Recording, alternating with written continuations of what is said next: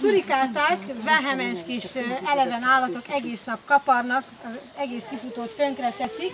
Tavasszal, amikor még elkezdődött a szezon, nagyon szépen meg volt csinálva, hát ők lerendezték saját kedvükre. Nyilván nekik így jobban tetszik, ők jobban tudják, hogy hogy jobban mindjárt még adok neki valamit, mert nem szeretném, ha a lábamat megdöfködni. Nagyon szépen néz ki különben.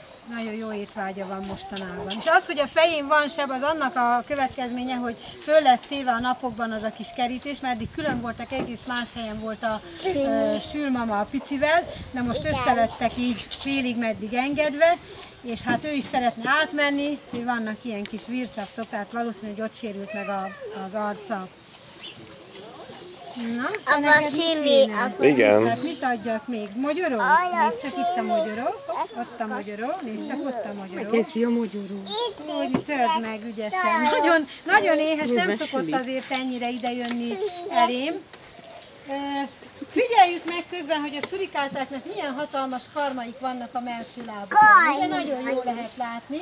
Anya. Mire használják ezeket a Karmaik vannak. Egyrészt ásásra, ugye, hogyha ilyen sokan leszünk, akkor fölveszem a hangos. Mire? Vadászásra, így van, tehát vadászásra, ásásra, sőt, még ennek segítségével meg tudják magukat védeni, ugyanis nem csak ők fogyasztanak el mindenféle táplálékot, hanem ők is nagyon sokféle állatnak a, a táplálékaként szerepelhetnek. Nagyon éhes vagy sülima, sülpapa, addig-addig, hogy lábamban landolnak majd a tüskék. Ide teszem egyenlőre már a szurikátáknak, és akkor figyeljük meg, hogy mit csinálnak. Na tehát ugye, amikor védekezni akarnak, nincs mindig idő arra, hogy beszaladjanak az üregeikbe, abban az esetben így szépen hanyat vágják magukat, elkezdenek nagy karmaikkal, meg hegyes fogaikkal védekezni. Sülpapa, hát várjál már, mindjárt leteszem neked is a kaját, mert tényleg az lesz a vége, hogy én is kapok egy kis tüskét. Oh, menjél csak arra. Ajjajajajaj, hova menjünk? Kicsi a hely, szűken vagyunk.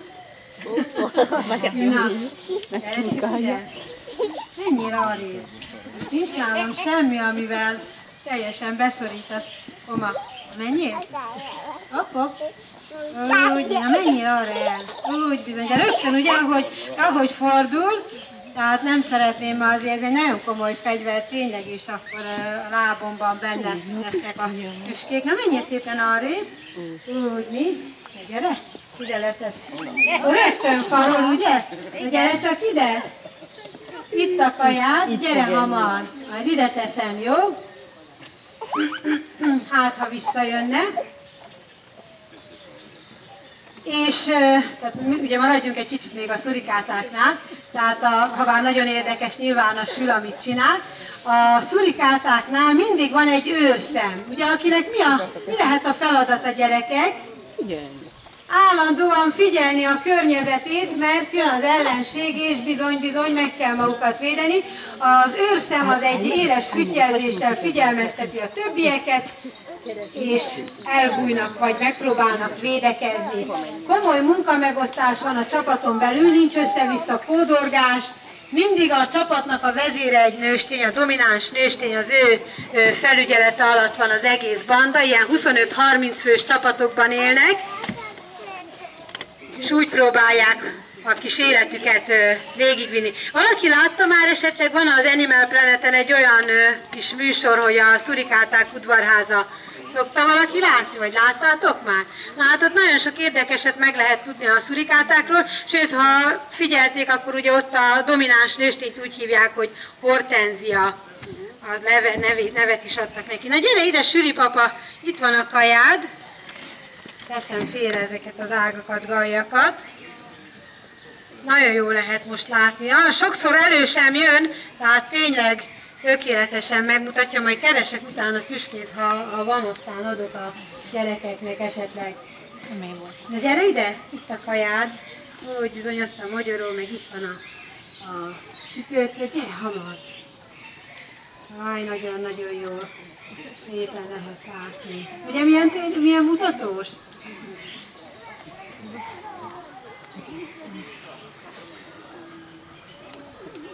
A szurikáták Dél-Afrikában élnek, mégpedig sivatagos területeken, És mindig úgy kezdődik a napjuk, hogy kimennek a napra és napoznak. Vajon miért? Milyen az idő? És miért szeretnek szerinted? Itt a kaját, gyere sülpapa. Menjél oda. És miért szeretnek vajon? Hát, te nagyon rossz vagy most. Úgy, ott a kaját. Na vajon miért szeretnek napozni? Mit gondolsz? Milyen az idő a sivatagban? Meleg. Nappal nagyon meleg van, viszont éjszaka nagyon, nagyon hideg. Akár nulla fok körül, hát ennyi, te most nagyon rossz vagy. Miért támad?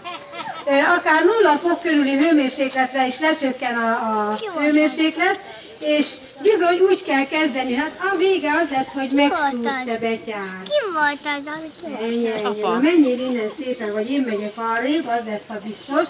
És, és ke, ugye azzal kell kezdeniük a napot, hogy az éjszaka átfázott kis testüket fölmelegítsék, éppen ezért kiállnak így a napra, hasukat a napra úgyhogy mindjárt akkor az lesz, hogy hogy nem tudom miért nem eszik most, nem szokta ezt csinálni, tényleg máskor olyan nyugodtan el van, pedig hát ott a kaját, gyere ide, Süli, gyere, gyere, gyere, gyere, itt van. Na mindegy, majd csak eszik. Na, ö, akkor térjünk át a sülre, mert ő most nagyon szeretné, ha ő lenne a központban. A sülök vajon táplálkozás szempontjából milyen állatok? Lehet látni, hogy miket hoztam nekik, de ez lehet, hogy meg fogja zavarni. Igen? Sütőtök, keks, körte, paprika is van ugye ott. Alma, magyaró. Na most, hogyha ezeket a kajákat megnézzük, akkor arra lehet, répa, arra lehetne gondolni, hogy ő növényevő vagy mindenevő, de nem, egyik sem, hanem rákcsáló állat. Mégpedig a második legnagyobb rákcsáló, ugyanis a legnagyobb a, a kapibara, vagy vízidisznó, és hát ugye milyen jó pofa, nagyon jó, jókat mutatott most nekünk. Elvitte, el gyorsan azt mondja, most már enyém megvan a kaja. Éppen ezért tudja -e valaki, hogy a rákcsáló állatoknak mi a jellegzetessége? Nagyobb gyerekek, ott van egy nagyobb kisfiú, olyan nyilván tanulta, hogy mi a jellegzetessége a rákcsálónak. Állandóan nő a metszőfoga, nőnek a metszőfogaik, éppen ezért folyton rágniuk kell valamit, hogy ennek segítségével koptassák a fogakat, és ezért vannak bent itt a kifutóban is az az á, ezek az ágak, gajak, hogy ennek segítségével tudják koptatni. Na most lehetett látni a támadását, ugye tökéletesen most megmutatta, hogy hogy csinálja. Ugye, hogyha megijed valamitől, vagy valaki megtámadja, rögtön így fölborzolja ezeket a tüskéket, amik nagyon komoly fegyverek, utána pedig elkezdi csörgetni, és ezek a tüskék ilyen üreges valamik, tehát csörgő hangot ad ki, ezzel már meghátráltatja az ellenséget, de ha még mindig úgy gondolja valaki, hogy jó, hát én majd megtámadom, abban az esetben viszont elkezd lehetett nagyon jól látni, hogy mit csinál így megfelé, és elkezd döfni. Tehát nem úgy, ahogy sokan gondolják, hogy kilövi a tüskét, hanem döf, és mivel hogy a saját testében lazán ülnek ezek a tüskék, a másik végén pedig apró horgok vannak, hát most úgy látom, hogy nincs itt olyan nagyon szép tüske, de megpróbálom azért megmutatni. Tehát ez a része van a testében, ennek a másik végén pedig egy apró kis horog van, és ahogy ugye döf, benne marad a kampó miatt, a horog miatt az én testemben, vagy akármilyen állatnak a testében, és szépen kihúzódik, mivel hogy lazán van a bőrében. Tehát ő neki ez abszolút fájdalmatlan, viszont akinek a lábába vagy a testébe belemegy, az bizony nagyon rosszul érinti.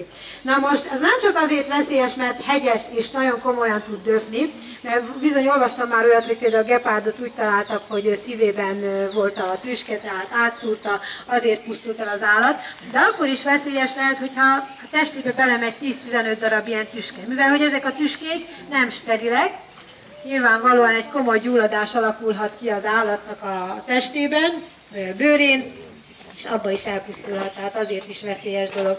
A szurikátákat az előbb mondtam, hogy kis szemtelenek, és azért van a villanypásztorral körbevéve a területük, hogy ne jöjjenek le, mert szemtelenkednek a, a süllel. Tavaly az egyik szurikátánk úgy járt, hogy átszúrta a kis testét a sültüske, Szerencséjére nem pusztult el, megműtötték, én végignéztem a műtétet, nagyon szerencsés volt, egyetlen egy létfontosságú szerv sem sérült, de hát ez mondjuk, mondjuk azt, hogy tízből egy, mert ezzel az erővel a szíve is sérülhetett volna, vagy bármilyen más szerve. Tehát próbáljuk így megakadályozni azt, hogy ők találkozzanak ezzel a villanypártorral. Viszi befelé, igen, azt mondja, az az enyém, nem adom senkinek, úgyhogy nagyon kis betyár, tényleg, de jó pofa volt, ugye? Tényleg. Behúzta maga, magával a tányért. Na azt kérdezném én közben, hogy